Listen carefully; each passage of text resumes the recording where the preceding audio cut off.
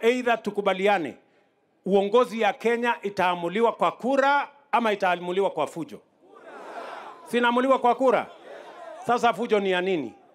Mimi nataka niwaambie wale wanatuletea fujo, tafadhali, kama mko na matatizo, kuna njia ya kisheria ya kuendelea. Tulikubaliana na wao ya kwamba tuongee, sijui kama tunaelewana. Wakawacha mambo ya kuongea, wakaenda kufanya vita. Na mimi nataka niwaambie, we have absolutely no issue with any constitutional provision on picketing or even on demonstration. But we cannot be a country of chaos.